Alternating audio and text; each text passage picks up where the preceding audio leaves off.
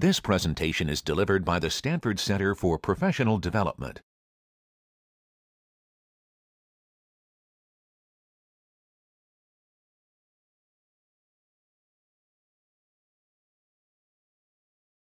Well, good afternoon, everybody, and welcome to the Thursday, November 29th, 2012 session in our series on green technologies in transportation. I'm Richard Dasher. I direct the U.S. Asia Technology Management Center that produces this series. Uh, also want to say a special thanks to Sunbridge Partners for additional financial support for, of this series. We'll have some refreshments outside as soon as the session is over. We really hope that you'll stay and enjoy the networking after the formal part of the presentation. So um, also want to point out that today is the penultimate session in our series of nine presentations about green technologies. Next week, we have Mr. Lou Thompson, who is a very senior uh, consultant and advisor for uh, railway transportation. He's a member of the peer review panel that's checking up on California high speed rail. And he's going to be talking about what the United States should learn from Asian high speed rail projects. So that'll be the final session in our series. Before that, I'm delighted that we're able to uh, invite Mr. Steve Center, who is Vice President of the Environmental Business Development Organization inside American Honda Motors. Uh, Steve is coming up to be with us today from Los Angeles, and we really appreciate your devotion of time and effort right, you know, in the middle of the Los Angeles Auto Show. He was interviewed by the national press there yesterday. And so we're very happy that you could come up and, and take time to give the presentation today. Steve is a veteran of sales and marketing in the auto industry. He's worked for Honda Motors for more than 20 years. And uh, before that, he's done things like run a chain of retail uh, auto, uh, what do you call them, dealerships. So um, Steve is a veteran of the business side of the auto industry. But two years ago, Honda, which has a very strong and long tradition that Steve will tell us more about in regard to environmentally friendly automobile technologies, asked Steve to put together this new business unit that would really combine a lot of the different technologies that are in different silos in the organization. So this is a very interesting business organizational problem that you see not only in Japan but in the US. But we're delighted that we can hear about this new business unit as well as learn more about Honda's um, power of dreams. So I'll turn over the microphone to Steve at this point. Thanks for coming. Thank you.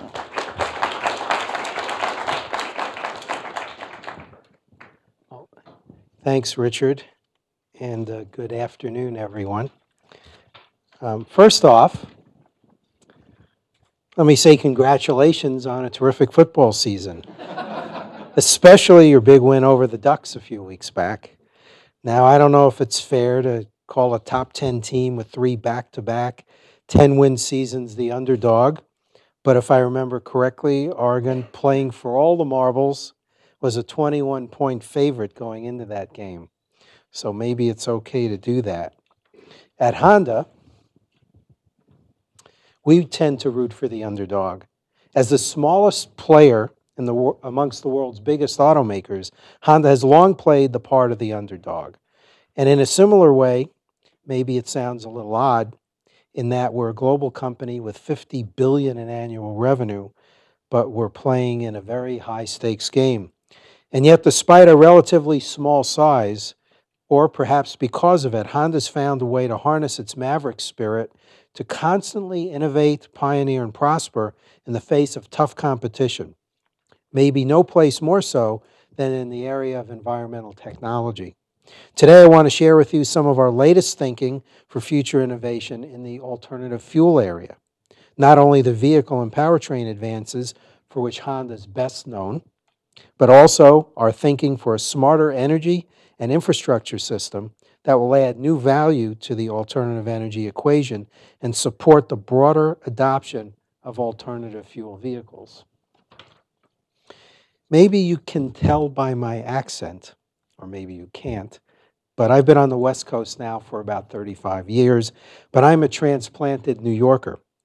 And like many others, I've been concerned about family and friends back in New York and New Jersey, and everyone there struggling to recover from the devastation from Superstorm Sandy. In watching this disaster unfold, it occurred to me that there's a role for alternative fuel technology in mitigating the impacts from these kinds of disasters. So I'd like you to imagine for a moment that your home is cut off from the grid and you've been told it could take days, even weeks, before the power comes back on. Now imagine you're driving a plug-in or electric vehicle that you could hook into your home, into your home's power system, or supply backup power to run your 52-inch TV and chill the beers for Saturday's Stanford UCLA rematch, for example. That might be good. Further, imagine a utility infrastructure system that was smart enough to tell the same car when it was optimal to recharge based on the grid's load or minimizing CO2 emissions, even the level of renewable energy being applied to the grid at a given moment.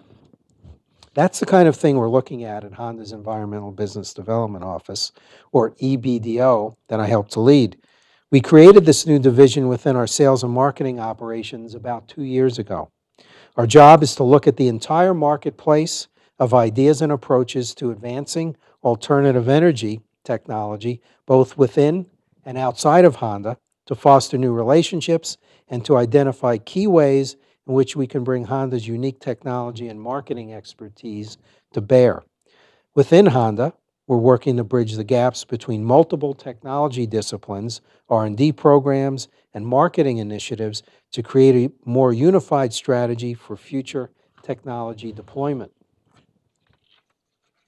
Of course, the notion of environmental innovation is nothing new at Honda, and it certainly predates my time at the company. Honda's legacy of environmental leadership back, dates back to the early 1970s and the creation of the CVCC engine that in the Civic was the first to meet tough new emission standards under the 1970 U.S. Clean Air Act, and to do so using cheaper leaded fuel and without the need for a catalytic converter. Just out of curiosity, how many of you have ever put leaded fuel in a gas tank? Okay, well, I thought so. That's about what I figured. I don't suppose you guys ever made your own mixed tapes either, did you? No, okay. Things change. But the engineers who created that marvel, the marvel that was the Honda CVCC engine, had a rallying cry back then, and that rallying cry was blue skies for our children. And this embodies their dream to help clean up the air in cities like Los Angeles, New York, and Tokyo, and thereby improve the health and welfare of future generations. I'm going to tell you two quick stories. When I grew up in New York, I can remember standing on Park Avenue one day with my father looking downtown at what was then the Pan Am building. And you could only see the bottom half of the building because from the middle of the building up was covered in black when I was a child playing in the streets there, you couldn't have a white car because the buildings were constantly raining ash from the incinerators burning the garbage there. And in the late 70s, when I moved to Los Angeles to go to grad school, I was downtown at USC, and um, I realized what people said about the smog. Your eyes were burning, you found yourself short of breath, and I really couldn't see uh, much of the neighborhood. Until one day the Santa Ana winds came up, which come up from time to time, blew all the smog out to sea. Not only did I realize there were skyscrapers probably a mile from the campus, but the city was sound, uh, surrounded by beautiful mountains. And I thought to myself, that's a damn shame. Um, 30 years later, you don't have those days anymore, really. Uh, the air, there's very rarely an air quality alert day in Los Angeles. The air is clean, you can see across the city, And I think in great part it's due to the efforts uh, to reduce automobile emissions um, and the technologies that were applied. But that rallying cry powered Honda's continuous efforts to reduce vehicle exhaust emissions in the 80s and 90s, resulting in a series of industry firsts, including the first vehicles on the market to meet California's LEV, ULEV, SULEV, and PZEV emission standards. A little translation there. The ZEVs are for zero emission vehicles, and the LEVs are for low emission vehicles. But anyway, this was significant in that the early catalyst technology was both very expensive and a major hindrance to vehicle performance. Honda's solution back then was to create a cleaner burning engine, and that flew in the face of industry critics who claimed that these new emission standards, back in the 70s, were practically impossible to achieve and potentially fatal to the industry. And of course, we know now that they were entirely wrong. Our efforts to reduce smog forming emissions continue to this day. In fact, today at the LA Auto Show, we released key new details about the Accord plug in hybrid that we'll be launching here in California and in New York right after the first of the year. The new Accord plug in will be the first vehicle certified to meet CARB's SULEV 20 emission standard, which takes the lifetime smog forming emissions over 150,000 miles of driving down to just 10 pounds. Now, for some perspective, our first LEV vehicles produced somewhere around 120 pounds of smog forming emissions over their full life cycle. So you can see by that the very great distance that we've come. And those words, blue skies for our children, today remain very much part of our world. If you see anything related to our environmental efforts, you're likely to find it tagged with this Honda Blue Skies logo. But what's most important here is not the branding, but the spirit behind it at the company. Now, in respect, we can say that the original goal of Blue Skies has largely been achieved. And so our environmental vision today is shifting and is now centered strongly on energy sustainability and the reduction of CO2 emissions that contribute to global climate change. That vision is formally expressed now in Honda's environmental vision statement as realizing the joy and freedom of mobility and the sustainable society where people can enjoy life. Now, that may sound a little bit too philosophical, but it captures several key points about Honda's approach to environmental innovation. The first is that Honda does not view itself as an automobile company or a motorcycle company or an engine company, as I was taught in grad school, but now as a mobility company. And that's an important distinction. We aren't simply thinking about how to preserve our current business model, which centers around gasoline powered cars and motorcycles. Instead, we're thinking about what we can do to advance human mobility in all of its forms and in the process ensure the sustainability of our own business. Second, for our business to not only survive but to truly thrive, our products must bring real joy to the customer, the freedom and joy of mobility. That means everything we do is focused first and foremost on the customer and creating new value for their lives. In the alt fuels arena, this means making an emotional connection between the customer and the car, regardless of what's under the hood or in the trunk. It's not enough to make a product for the environment because the environment doesn't buy and use the cars. People do. And finally, with a, sincere commitment to sustainability, we want to bring technologies to the market while minimizing any impact our products and our operations will have on the environment that sustains us. Realizing this vision with a more sustainable, low CO2 future is a very different kind of challenge than our previous efforts on air quality. First of all, climate change is not a local or even just a national issue, but a global concern. CO2 emissions and their impact to the environment recognize no geographic, political, or social boundaries, and the emissions themselves are on a totally different scale. Where a modern automobile may emit only 10 or 20 pounds of smog forming emissions in its lifetime, that same car will produce upwards of 150,000 pounds of CO2, almost one pound for every mile it travels. The challenge then is to improve fuel efficiency at the same time as we work to effect the transition away from carbon based fuels. This will require fundamental shifts in technology, in powertrain technology, of course, but also in the infrastructure of how we produce, distribute, and consume energy in our cars, in our homes, in our factories, and our offices. Further, the most effective solutions will involve the coordinated efforts of many stakeholders across a broad range of endeavors, including also automakers, but also scientists and engineers in a wide variety of fields, as well as energy companies, policymakers, NGOs, and of course, academia. For our part, we're working diligently to address both the vehicle and infrastructure side of the alt fuel equation. On the vehicle side, Honda is pursuing what we call a portfolio approach that encompasses virtually all of the most promising technology solutions, everything from hybrids and battery EVs to natural gas and fuel cell electric vehicles. And as I alluded to earlier, soon plug in hybrids. This is anything but a cover all your bets strategy, though. Rather, it's recognition that there's no silver bullet technology or a single approach to realizing the move away from fossil fuels. It's also about ensuring the sustainability of our own business. By developing core technology know how, we're building the foundation of our future value creation and ensuring that we can continue to bring new joy to our customers. And based on this portfolio concept, Honda's been building its engineering and marketing know how in a deliberate, step by step way, always with an emphasis on the real world deployments and a determined focus on the satisfaction of the customer.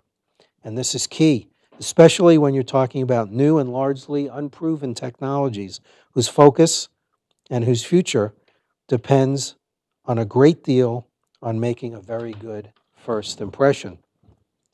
Right now, Honda's looking to make some great first impressions with a whole new range of powertrain technologies that we're marketing under the rubric of Earth Dreams technology. This is a broad scope of technologies that will power our vehicles today and tomorrow. Once again, covering everything from more efficient engines, new hybrid technologies, to more advanced electromotive systems. At the base of the pyramid are a family of new gasoline engines using a myriad of new combustion and friction reducing technologies. These new direct, engine, direct injection engines are seeing their first application in the U.S. in our all new Accord, which just went on sale a little more than a month ago. In the four cylinder range, this includes an all new direct injected engine with VTEC variable valve timing, mated to an all new continuously variable transmission that delivers great performance and top fuel economy. CVT transmissions are more efficient you lose a lot of energy in shifting gears. Yesterday at the LA Auto Show, we unveiled our first V6 direct injected engine in the all new flagship sedan of our luxury brand, the 2014 Acura RLX. Building these new powertrains required a multi million dollar investment in new manufacturing technology at our engine and transmission plants in Ohio. These investments reflect the incredible competition that exists today in the race for fuel economy bragging rights. But they also speak to our understanding that the gasoline internal combustion engine will remain a significant and perhaps even dominant part of the powertrain mix for many years or even decades to come. Whether paired with electric motors and hybrid systems or as freestanding power plants, Continued advances in internal combustion engine technology and fuel efficiency will be critically important for the near term. In fact, as we continue to improve IC engine efficiency, and there's still a great deal of room for further gains, gasoline engines will become an even tougher competitor for alternative systems. Diesel engines are part of the picture as well. And we've got new, cleaner, and more efficient diesel technology that we're launching now in Europe and in India. But the market for diesel engines here in the U.S. remains quite small, in part because of the high cost of diesel fuel and the lingering bad reputation of the domestic automakers' diesel programs in the late 70s. So those of you that pumped leaded gas probably remember some of those. Frankly speaking, it's going to take our generation and older to die off before the diesel stands a real comeback in America. You have a question? Uh, I mean, diesel had quite a bad reputation in Europe too, probably not as bad as here. Uh, why do you think it managed quicker to overcome that bad reputation there? You know, I think um, some of it is that the manufacturers there had reliable engine products. So here, on, on top of the polluting aspect of it, um, the European manufacturers had better technology, so you didn't have the reliability issues. Next come hybrids and plug-in hybrids, which in the interest of time, I'm going to tackle together. The expanded use of hybrid technology paired with more efficient engines is really at the heart of Honda's efforts to reduce CO2 emissions in the near to midterm. Hybrids offer high levels of utility, good performance, and convenience. You can fill up at any gas station. And in the case of strong hybrid systems, some unique values like quiet and responsive electric motor only operation, like our new Accord plug in hybrid. And they have a good or at least well understood reputation in the marketplace. If you've ever driven an electric car, you'll find it's a kick. The uh, torque from electric motors much greater than you'd have with a smaller internal combustion engine car. You don't have that gutless feeling. The acceleration's strong and uh, the fuel economy is good, even better than with uh, ICE engines. The market for hybrid vehicles really illustrates the challenge of moving a technology from fundamental viability to mass market availability. I'm talking here about cars like our own Insight, our CRZ Sporty Hybrid, and the Civic Hybrid, as well as the growing family of Prius vehicles that Toyota makes, and hybridized versions of other popular cars like Ford's Fusion and Hyundai's Elantra. These are very mainstream vehicles with a great share of mind, and yet despite their very practical capabilities and a dozen years of concerted marketing efforts across the entire industry, hybrids still represent roughly 4% of U.S. light-duty vehicle sales. And frankly, you can see an increasing number of these vehicles sold as fleets and serving as taxi cabs, among other uses. So the adoption isn't that great. In addition to the need for increased utility that comes with typical mass market sedans, the single biggest hurdle to broader market acceptance is the technology cost versus the fuel economy benefit. It's that break-even point on your additional investment as a consumer, as well as concerns for long-term durability and resale value. The replacement battery can be very expensive at midlife. And for plug-in hybrids, recharging infrastructure remains a significant additional drawback. I know I'm beginning to sound a little negative on hybrid technology, but that's not my intention. If we didn't see the potential, we wouldn't be making big investments like we are today. At Honda, we hope to further move the needle on the hybrid value equation with a series of new hybrid systems for small, midsize, and larger vehicles. I already mentioned the new two-motor system in our soon-to-be-announced, or announced today, Accord plug-in hybrid. We provided new details at the LA Auto Show this morning with the announcement that it will achieve an EPA highway fuel economy rating of 115 mpge in electric driving mode. That's the highest fuel economy rating of any plug-in hybrid in America. The plug-in Accord will be joined later next year by an Accord hybrid model using the same basic two-motor system, minus the plug-in capability, and achieving 47 miles per gallon overall. Later, next, yes? How long, it- how long is the electric range? So it's It's about 15 miles in electric only. 150. Later next year, we're going to introduce a three-motor system when we call this Sport Hybrid Super Handling All-Wheel Drive in the Acura RLX. I know that's a mouthful, as I've just demonstrated, but it gives you a pretty good indication of what this new system is intended to achieve. The RLX will have three electric motors, one each to power the rear wheels and a third motor integrated with a seven-speed dual-clutch transmission that together produce 90 horsepower and enable independent control of torque output at the wheels for a new level of handling performance, along with a fuel economy of 30, 30, 30, or 30 miles per gallon, the city, highway, and combined. Now, how that works, uh, the super handling all-wheel drive system today uses an accelerator gear to speed up the outer wheel to help you around a turn. In the future, we'll do that electrically. A third single motor system with a focus on affordability will be deployed in smaller vehicles like the Honda Fit in the near future, but it retains the commitment to provide both fuel economy and fun to drive performance at a very high level. Taken together, we hope these new, three new hybrid systems will further expand the appeal and reach of our hybrid vehicles with Honda and Acura customers around the world. One step further down the road to electrification is the battery electric vehicle. Based on the U.S. electricity grid, well-to-wheel greenhouse gas emissions are roughly in the same basket, maybe a little bit more, than the most efficient hybrid vehicles. And what I mean by well-to-wheel is when you plug in an electric car, you have to think about how that electron was generated.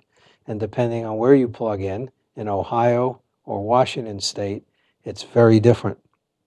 When you take into account the move to less carbon-intensive energy production here in the U.S., the picture gets much better. In the past year alone, the U.S. grid has cut its carbon intensity by about 10%. That's enormous. Based on the move away from coal to compress natural gas and other sources. In California, FIT EVs well-to-wheel CO2 emissions are roughly 100 grams per mile, about half that of a similarly, similarly sized hybrid car. This is great promise in electric vehicles. Our new Fit EV is based on the popular five-door, five-passenger Honda Fit subcompact platform, which is one of our highest volume global models. Stanford's played an important role in this effort as one of three partners in our Honda electric vehicle demonstration program, which we set up to, continue, to conduct ongoing research on the challenge of achieving broader acceptance of electric vehicles. The Fit EV is also a great example of how our portfolio approach is paying dividends in the real-world performance and value of our products in the hands of customers. With 118 miles per gallon equivalent, the Fit EV has the highest EPA fuel economy rating of any mass-produced electric vehicle. I know that's beginning to sound like a familiar refrain, and that includes an industry-leading energy consumption rating of 29 kilowatt hours per 100 miles and top-class driving range of 82 miles. With its onboard charging system, the Fit EV also boasts the fastest recharging times at less than three hours when connected to a 240-volt circuit. This is achieved through more efficient motors, smarter bat battery management, and improved regenerative braking capacity. I want you to pay careful attention to this one. This is important. For starters, the Fit EV has a new electro servo brake system that is a further evolution of the system we developed in our FCX Clarity fuel cell electric vehicle. The system uses advanced cooperative control between the brakes and electric powertrain to achieve an 8% increase in energy recovery during braking compared with other systems on the market. Incidentally, we're using the same system in the new Accord plug-in, and that's how we get the extra range. And the Fit EV's 92 kilowatt synchronous permanent magnet motor also borrows heavily from the FCX Clarity and achieves a 94.6% efficiency rate in the EPA city test cycles. Now, I don't know if anyone here has had the opportunity to drive a Fit EV, but virtually everyone who, ha who has remarks about how incredibly fun it is. As I said before, electric vehicles are fun. As a as proud as we are of what we've achieved with respect to efficiency, range, and recharging performance, we're equally proud of the Fit's fun to drive nature, which is an important part of our approach to the joy of mobility. It's also a very important part of Honda's of Honda's DNA. I said before, environments, excuse me, environments don't buy cars, people do.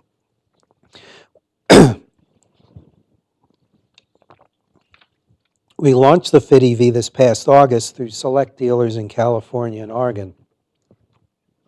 The maps don't show up, I apologize. Our marketing approach is a three-year, $389 a month closed-end lease that includes insurance and maintenance. We plan to expand the program to six East Coast markets beginning next year. Now, we've taken some criticism in the press for this approach, which some feel is too conservative, especially for a car this good, and which some have even labeled it as a compliance car designed primarily around California's ZEV mandate. The last one's really a red herring. All you have to do is drive the car, experience its refinement and sporty handling to realize the target wasn't simply to meet a regulatory requirement. We could have easily built cars and just put them out there. But I want to be clear about one point. In our view, retail leasing is not only the smart way to market EV technology, it's really the optimal approach and the best strategy to ensure that we create that kind of, thanks a lot, that positive customer experience that I said before was so important in the early stages of introducing these new types of technologies. Now, it's tempting to take a look at the challenge of introducing alternative fuel vehicles as simply an issue of technology.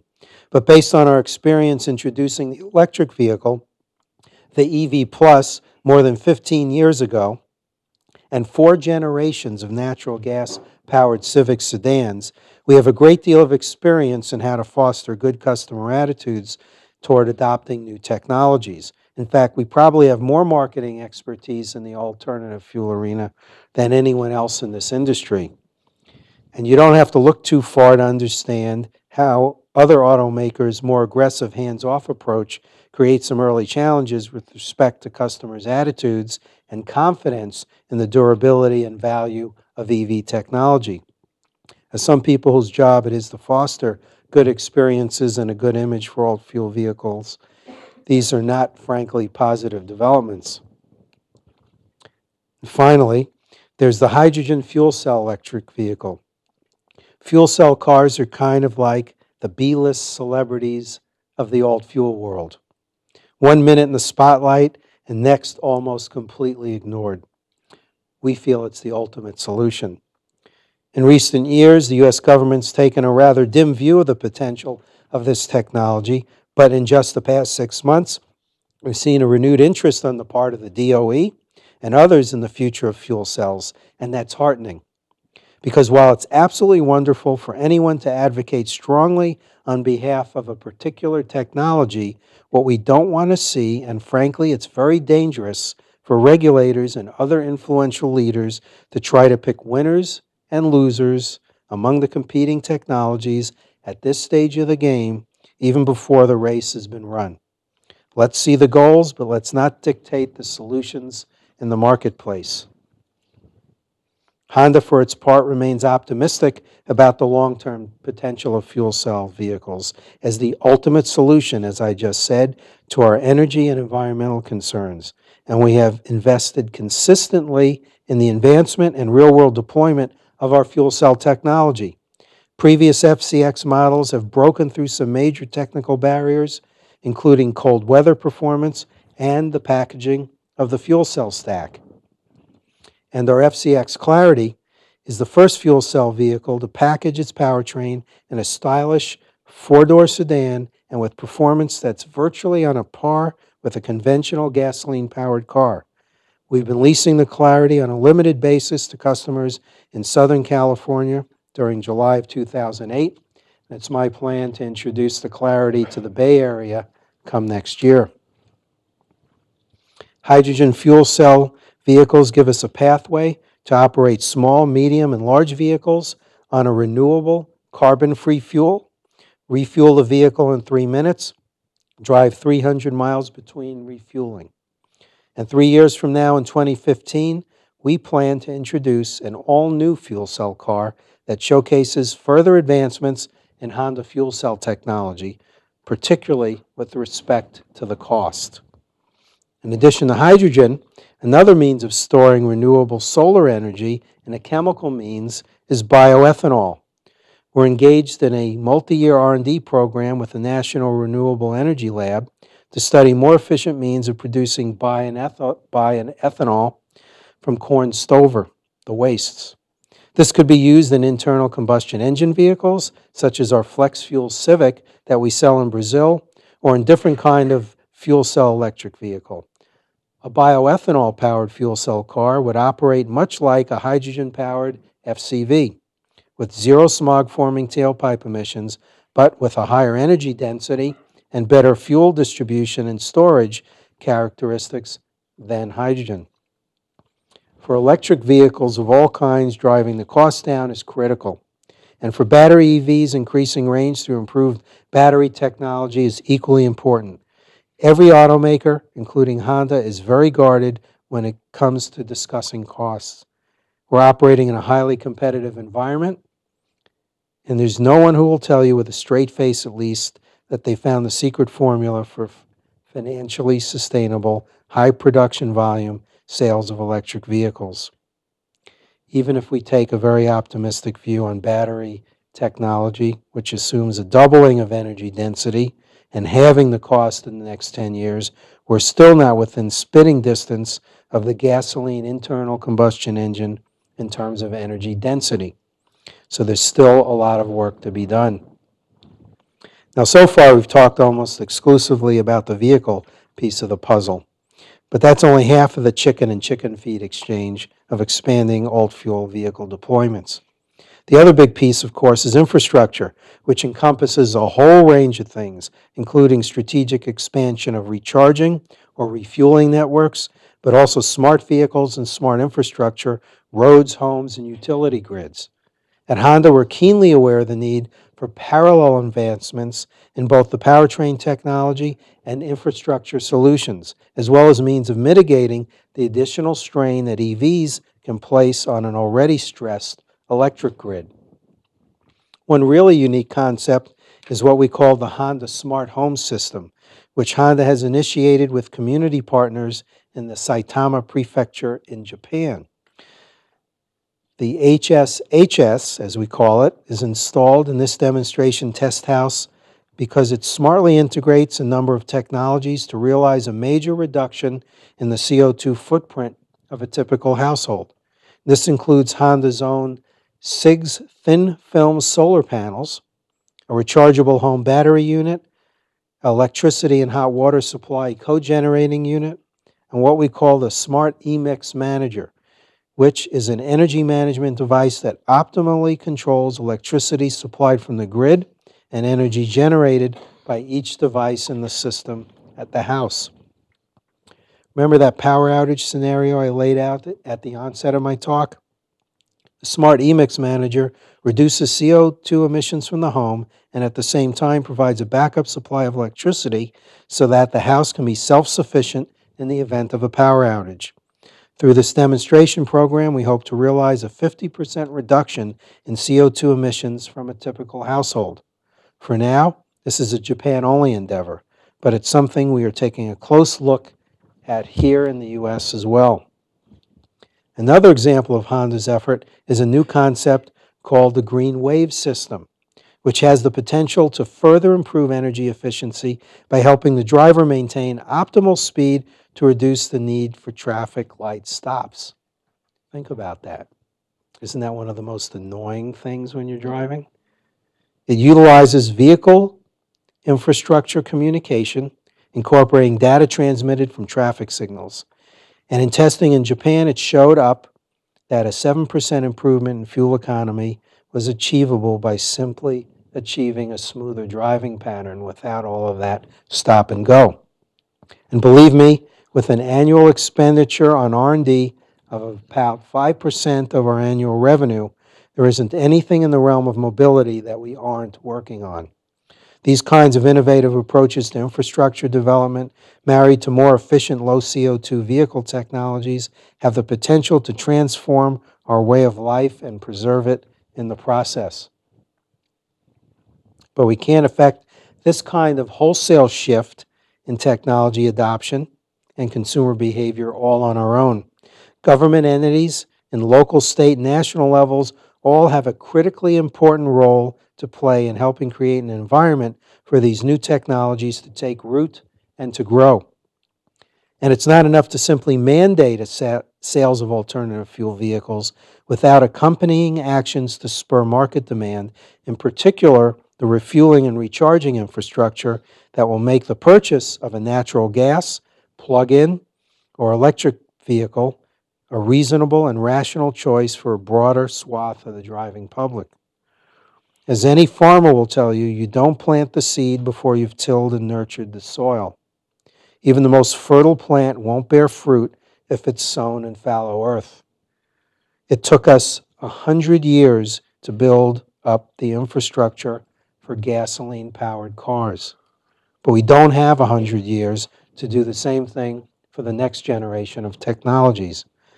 But at Honda, we're taught to always go forward with a challenging spirit and a sense of optimism. And so I want to leave you with some nice change image of how this might all come together someday in the not too distant future. So it's Monday morning in my neck of the woods, and this poor guy, let's call him Charlie, is leaving his home in Orange County, headed for an 8 a.m. meeting in Santa Monica. It's really bad to be Charlie. Right now, he'd have to leave around 5:30 a.m. to cover the 57 miles on the gridlocked 405. But there was a power outage in the middle of the night, and it screwed up his alarm clock, and now he's running late. And to make matters worse, Charlie forgot to stop for gas last night. So somewhere along the way, he's going to have to hit a gas station. And at speeds averaging 7 miles an hour, bumper to bumper traffic, queuing lights to re enter the freeway. The guy is gripping the wheel so hard he starts to sweat. And then he makes the potentially fatal mistake of looking down at his phone and bam, he rear ends someone. And that's what passes for America's love affair with the car on most days in Southern California. And I know it's not much different up here in the Bay Area because I've lived here as well. But maybe there's a better way. Let's rewind the clock. Charlie Sally. And Sally has a plug in a cord that when she pulled into the garage last night reminded her it needed a charge. Sally's smart. Once plugged in, the car and the grid have a conversation and decide the optimal time to make sure you have a full charge when she leaves the next morning while minimizing the CO2 emissions and strain on the grid. There's still a power outage, but the Honda Smart Home covers the gap so she doesn't wake up late. There's no powered off DVR that failed to record last night's episode of The Walking Dead. Everything's wonderful. So Sally jumps in the car with plenty of juice to get to her 8:30 meeting and navigates onto the freeway. But at this point, having told the car its intended destination, she lets go of the wheel, sits back, and catches up on some email. All the while, the car is taking in data from both the infrastructure and other vehicles on the road to guide it safely and efficiently to its destination. Traffic moves along at a brisk pace, there's no accidents, and suddenly Sally finds she's got time to kill, time to make a pit stop, but not for gas. And now, thanks to Sally's smart car and smart infrastructure, she gets to be the hero shows up 15 minutes early for that Monday morning meeting with a couple of dozen Randy's donuts in hand. And now, if that isn't the freedom and joy of no mobility, I don't know what is. Thanks a lot for your time this afternoon. Thank you. Richard? So if you don't mind, I'd like to ask a question to start. And what I'd really like to ask is about your role. Honda has all of these different things going on in R&D and different kinds of business areas, developing new businesses. How do you keep up with all of this? Yeah, I spend a lot of time uh, meeting people. I've been with the company 20 years, and I've had a blind spot into R&D because I spent all my career in sales and marketing. So I would see the products when they're ready to come to market. So um, one of the advisors in our group uh, has been with the company for quite a long time, and uh, he's introduced the engineers on our team and the marketing people to all the different R&D groups. We see what they're working on, and we explore what's in the marketplace and peer down the silos in the company to Yeah. see what's there to pull out and bring to public. Okay. Thanks. Let's open the floor. Go ahead. What are the, uh, the major pain points for designing a hybrid drivetrain?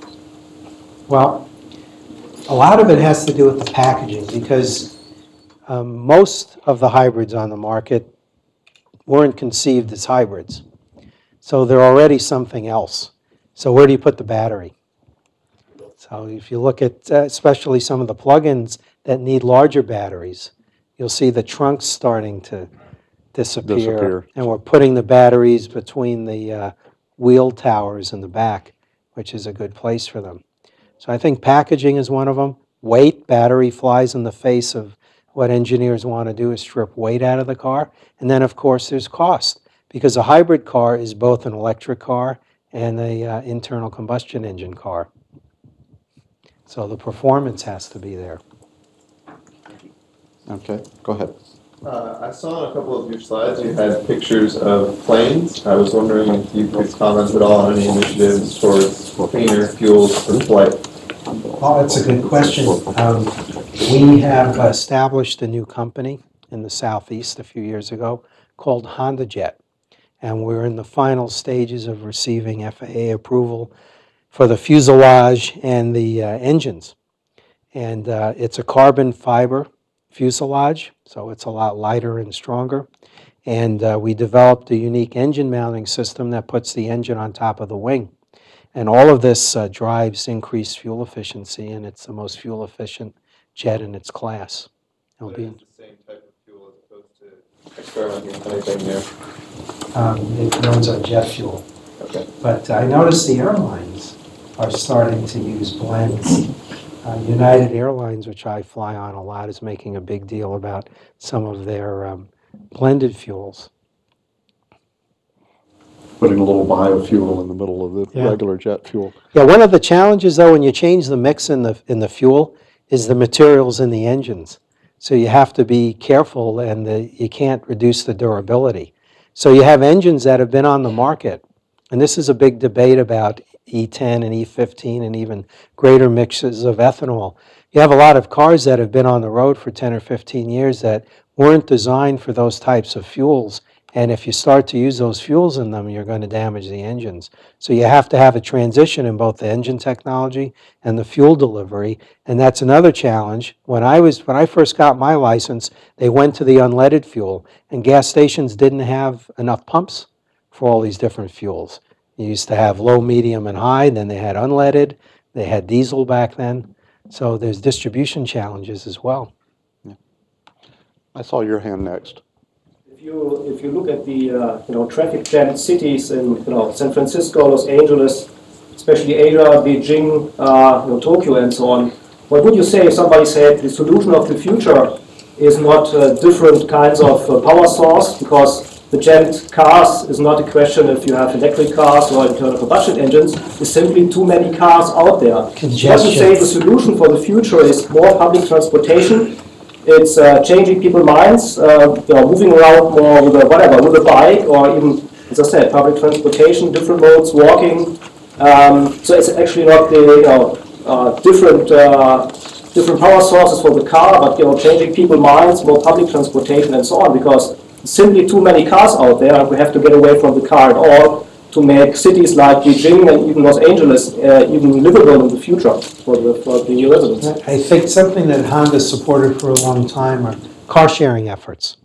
And they help to reduce the um, um, congestion. Uh, You still need cars and the city's end, and uh, mass transit can't be everywhere because then it's going to deliver the same congestion as the individual autos do. So it's a blend of the two. Car sharing is important for that. Um, There are companies in Europe that are pretty advanced in that area, and I know you're going to see a lot of that coming to the US very soon.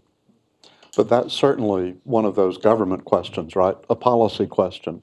What do you really, you know, push for the regulation side, right? Yeah. Okay, go ahead. So, as a poor grad student, uh, I haven't been in the market for a new car for uh, ever. But uh, the last, the last I remember hearing of Prius sales, um, different company, uh, was that there was extremely high demand but not enough supply. Um, and so, when you mentioned that currently hybrid sales make up about four percent of the sales in the U.S., I was wondering if that may be due to the fact that there's not enough hybrids available.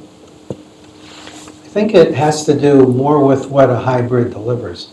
So a hybrid delivers better fuel economy in what would be the city driving or the bumper-to-bumper driving, because you're running on the battery. You're not accelerating the engine as much. So in a lot of places in the, in the country, city driving in particular, that's why the taxi fleets are adopting them. You also have, I would say, um, some twisted efforts, for whatever reason, to stimulate hybrid sales by allowing them to use the carpool lanes, which were originally developed for congestion. Now you fill them up with hybrids because they want to stimulate uh, the sale of the hybrids. So carpool lanes are in places like this, and they're in the south, and they're in the northeast corridor. They're not in Kansas. There's no bumper-to-bumper can- traffic in Kansas. So I think you see very high penetration rates in some of these congested metros or in states that are stimulating the demand and not elsewhere. Can I ask a follow-up? What's the, has, did Honda announce a, a suggested retail price for the new uh, Accord uh, plug-in hybrid? I believe we did. It- I think it's 39,780. And so what would be the difference between that and the standard version of a regular gasoline-powered Accord at this point? Uh, There'll be a hybrid also Yeah. coming in the spring, but now they're all internal combustion. And uh, I really wouldn't know, but it's several thousand dollars higher. Yeah, uh, I remember a few years ago looking around and seeing about a $5,000 price difference between regular hybrids and, and gasoline-powered versions of the same car. And that's the battery and the Yeah. hybrid motor. Right. So the economics are tough. Right. So you have to do a lot of city driving to benefit from that improved uh, low-speed fuel economy. And taxis do a lot of that. Uh, Some consumers don't. But if you get a carpool lane sticker, maybe that's good enough for you and you don't care. So I think a lot of people who bought hybrids really didn't want hybrids. They just wanted the fast lane. Yeah. Okay, go ahead.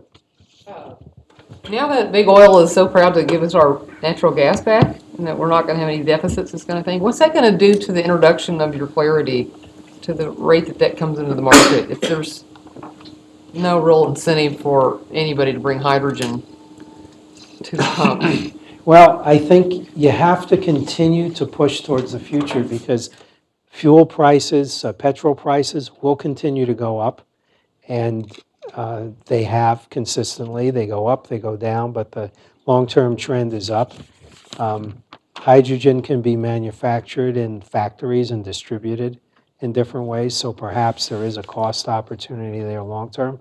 If not, there's the environmental impact of, of hydrogen. I think um, that's probably the most important when you think about the world 100 years from now.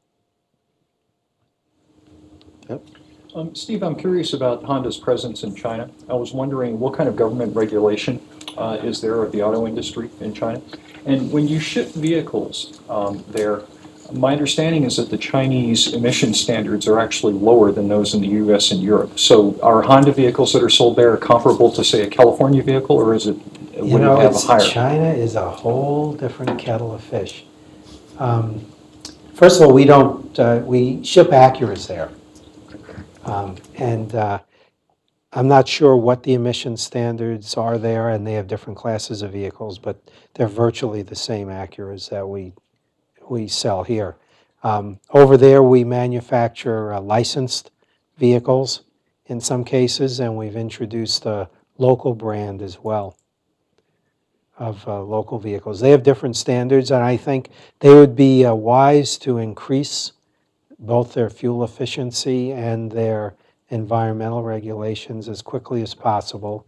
You know, if you remember when they had the Olympics, there were all those stories about them shutting industries down for a month before to clear the air. in uh, Beijing and in other cities. So given the sheer density and scale of China, they need to get with it. Okay. Go ahead. Follow on, his follow on. Uh, you had mentioned that the biggest challenge for electric vehicles is the cost, and you weren't going to share any of the cost for electric vehicles. Um, however, uh, can you share with us the cost of the engine drivetrain, since that's target? You need to be competitive with it, gasoline only. What is the cost today uh, at least a There's two ballpark? components, yeah, there's two components to cost. The first is uh, really the difference in materials, which is significant because you're adding an electric motor or two electric motors to an engine. And then there's the battery. But the real issue is scale. So if you take an Accord and um, let's say we build 350,000 of those here, and maybe 5% of them are a plug-in or a hybrid, so you can see you don't have the scale to amortize those differences over. So that's really where a lot of the cost uh, comes from. I, I couldn't even give you specifics because I don't know. But the biggest factor is volume. And whether you build one car or a million, the getting in cost is just about the same. And it's steep. I, I was just gonna bring that back. It sounds like a chicken and egg problem in terms of price. People won't buy them because they're too expensive, so you don't make as many, so it's more expensive. So how do you get out of that cycle? You take a huge loss and you make it up elsewhere. Back in the back. Uh, natural gas is getting a lot cheaper these days. I think especially the last ten years, the technology improvement over Yeah. there. Uh, I don't see anything here which I try to address. Uh, are you gonna push more on natural gas cars? Oh, we certainly are. In fact, my boss is pushing me all over the place about it because uh, one of our responsibilities is for the sales of the natural gas Civic. And I think uh, that's a perfect example of a very easy transition for an automaker because you're using an internal combustion engine. Um, The gas is going to remain uh, available and at a much lower price than petrol for a lot of different reasons we don't have to get into here but you don't have the distribution of the fuel. So we've had, I think I said, four or five generations of natural gas Civic sedans. These cars are bulletproof. They don't give us or the consumers any trouble. Um, you don't have fuel in many states. And um, there are a lot of companies right now, I spend a lot of time working with venture capital companies that are looking to set up uh, compressed natural gas distribution in, in many different business models. And I think uh, they're cleaner, they're not zero carbon, but they're a lot cleaner and they're less expensive to run. You can even refuel at home with it if you, if you own a home and you have gas in your, in your home. So I think that one's very promising, although the big challenge there, again, is cost and um, scale. But for a consumer, uh, to have 40% off the price of fuel, you can make that back uh, pretty quickly. Uh, In the heavy trucking business, the fleets, and you see in a lot of cities, the buses have gone to natural gas, because the more fuel you use, the the quicker you'll uh, break even on that investment. And also, the engines last longer, because it's a a cleaner burning fuel. So, This is an area where the Japan market developed in a different direction than the US because taxis running on natural gas have been a real kind of standard in Japan for a long time. yeah.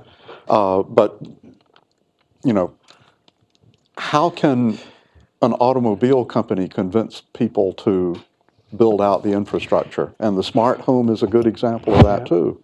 You know, I spend a lot of time uh, with these venture capital guys and uh, encouraging them. They all want to know are there going to be cars? And again, it's a chicken and egg thing. So we can take a loss on the car, someone's got to take a loss on the fuel. And the same thing's going on now with hydrogen. So there's a couple of hydrogen stations in Southern California. There's a hydrogen station up here that either exists or is about to. But you, you spend a fortune to establish that station, and a car shows up every three days. And that's the problem. So we're all going to be building fuel cell cars. The government's pretty much said you need to have these things. And we've got a lot of expertise in that, and we're ready to go. But again, if you don't have the fueling, the customers are going to be frustrated. And I don't know how far you're willing to drive for fuel, but when you have three brands at every intersection of petrol, it's probably not too far out of your way. And that's going to be one of the biggest challenges. And uh, I think the government's done a pretty good job of pushing the automakers around on this. We also need the encouragement for the infrastructure because it isn't going to succeed without it. And natural gas exists under any street that matters in the US, right? There's all gas pipes. So all you need is a compressor and a storage tank, and you can have natural gas fueling. Hydrogen's the most abundant element in the universe, but you really can't find it anywhere. So it has to be manufactured and distributed. It's always attached to something else. So your, your belief in the ultimate kind of winning out of the fuel cell uh, car is, do you think it's because of the way zero emission is defined? I mean, would a fuel cell car actually have less zero emission than a purely battery electric vehicle?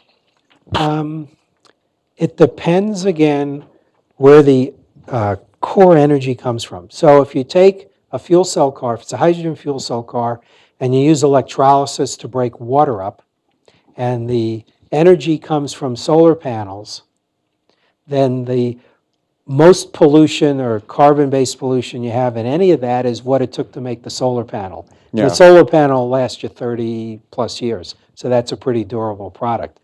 Um, electricity, if you're plugging your car in in San Onofre, and that was a, you know, a nuclear generated electron, no carbon, no pollution, but then again, you have to be concerned about what you do with the fuel at the end of the life. So that's what I said earlier when I meant, when I, I meant when I said well to wheel. If you really think about it all the way. So hydrogen from water is probably the ultimate because you can make it from a solar panel or you can make it from the grid. But if the grid's in Ohio and it's coal power, it's not a real clean Yeah, product. So you have to really think about it. okay, go ahead. I was just thinking, you talk about fuel cells as the like ultimate flagship, but what if you, do you see that if you have major breakthroughs in battery technology or some other charging such as more dynamic charging of uh, the electric vehicles, that that would be like the ultimate solution instead? Well, perpetual motion would be. But no, you approach that, you have to feed in some energy. And that was my point earlier in that uh, no one, especially the government, shouldn't pick winners and losers at this stage of the race. We don't know. And by everybody competing, competition's a great thing. By everyone competing and experimenting with these things, we're going to find the breakthroughs. Um, you all know from spending times in labs, you, you don't find those things laying on tables. It takes long hours and maybe a hundred tries before you get anything. I saw your hand first. Would you say more about personal commuter or commuter vehicles and their drivetrains and where you see that going? Very small cars, you mean? You know, it depends where you are. I think uh, the, the lighter and smaller the vehicle, you can get away with a lot more. And you can probably have um, electric vehicles that serve those purposes just fine. You don't have the range issues. Um, comfort and size and long distance, you probably want other kinds of cars. So uh, we have, we're very lucky in that we run the range of mobility from motorcycles up. And uh, depending on where you are in the world, there's different preferences, depending on where you are in the country. So I, I think um, all of those are possible. We're building a new factory in Mexico for the next generation of our Fit. So that'll be an entirely new car. And there'll be some variants probably with that to satisfy those kinds of needs. You had one slide about mobility and joy and freedom. Uh, on that slide down at the bottom were some pictures of some things other than automobiles. Would you mention a little bit about, what Honda's doing in, um, I'll take you in some it. of these um, areas? One was a robot, robot, robot, right? It's probably Asimo. Are you familiar with Asimo at all? Okay. So Asimo is mobility, but Asimo is mobility for people who can't really walk or take care of themselves. So if, if you're homebound and you need an assistant or a helper. Asimo is meant to provide that kind of assistance by uh, getting you things. And Asimo is not a very tall person. And the reason for that is we've done extensive research with robotics, and there's a, uh, a museum There we go. yeah, so there's a museum in, uh, at um, one of Honda's headquarters with all of the iterations and evolutions of Asimo. And the very first robots were like nine feet tall, and they're scary to stand next to. And what we found is that um, Asimo needed to be at uh, eye level height with someone who's sitting. So that's the reason for uh, Asimo's stature. Um, some of these other things. So this is this is meant to provide uh, strength when you're kneeling or sitting, and uh, we have used those in our manufacturing uh, facilities. So a lot of jobs require crouching and bending, and that can be very painful and destructive to your knees over time. So this is meant to support you while you're working. And this one here that looks kind of like a boom box is, I think it's called U, U3X. And if you go on YouTube, you'll see a video of me riding that in Japan. And that has gyros in it, and it balances itself. You sit on this, and it has technology similar to the way a Segway might work. And you just sit on it, and you lean forward a little, and you go. But the unique thing about it is you can go sideways. You don't have to turn. You just lean to the side, and it goes sideways. So that might be good for an indoor facility uh, where you have a long distance to go. It has in a very small footprint for something like that. Yeah, it's meant to carry. So what happens is these, this is what you sit on, and they fold down, and it becomes another black circle, and there's a handle, and you can carry it. So these are all the things we experiment on. There's other things um, which you don't see here. There's a device called Walking Assist, which is an exoskeleton, which is meant to help people who have impaired walking abilities walk. And what this does is follow your lead, but it adds the strength that you don't have. So if you're a stroke victim or have a, a severe injury, but can still walk with great difficulty, this will make up for the strength that you don't have. I've seen several hands. Why don't you go And first? that's the Honda Jet there. You see that? You guys sell the, what do you call it, K cars, the six hundred sixty? Yeah. Do you see them on the horizon over here in the near future? No, no way. No, I think Americans, not in any numbers. Not to mention that those would need a lot of work to meet all the crash standards and things here. I think that, a- again, I said earlier, every, every place is different, and if you've been to Tokyo and you've been to some very crowded Asian or European cities, you know, that's where the smart car comes from, the same kind of uh, requirements, congestion and space. Okay, go ahead. Uh, Just a comment on this uh, uh, chicken and egg uh, uh, problem we had earlier, because uh, I'm involved in some of the electric mobility projects in, in, in Europe, especially in Germany.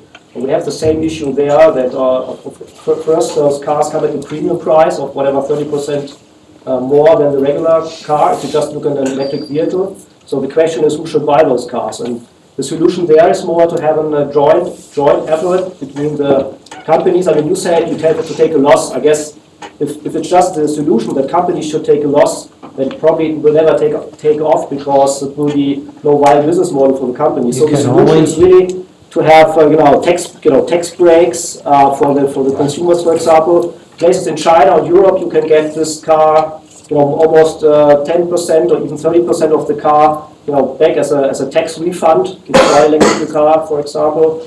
Uh, you know free free parking reserved parking for electric vehicles and so on, Mhm. and all the stuff. If you go uh, to Mountain View, to Google, on their parking lot, you see that one quarter of the parking lot is reserved for electric vehicles, for example. There's free charge. There are a lot of closed, you know, really near, near closed, tight European cities where you go to the parking garage, you get free charging. I mean, they charge you for the parking spot, but not for the charging. And charging. they do so on. that here at Yeah. LAX, you can. No, it just has to be, you know, this is what I mean, this is, uh, has to be, you know, Yeah. uh, you know, uh, changing people's minds. Well, that's my point about the regulation, so government. Yeah, the government needs to stimulate the rest of it. Absolutely, Yeah. absolutely. Because, you know, companies can, can bear losses at the beginning, and you always do when you're introducing something, but you can't do it continuously. And the market won't eat what it doesn't want. So you can't legislate demand. You stimulate someone to make it, you have to stimulate people to buy it, and you have to make the environment rich for them to use it. That's where the carpool lane stickers come from and things like that. I'm not against that entirely, but they were meant for congestion, and now we're using them for other things. But I do want to kind of remind people of one thing that you mentioned. It's great when the government gives goals for people to meet, but not to pick winners and how to get to Don't the pick goals. you just don't know. Yeah. You just don't know. The CVCC engine was a very good example of that. Nobody thought it could be achieved. Yep. That, that, you know, the clean air standards could be achieved. All the other car makers were saying, we can't do it. Meanwhile, Honda comes up with a solution. Yeah, if it was up to the government, we'd all wear brown suits. Right? We have an example of A123, of what, picking a winner based on, on on political decisions rather than, you know, market. I don't know.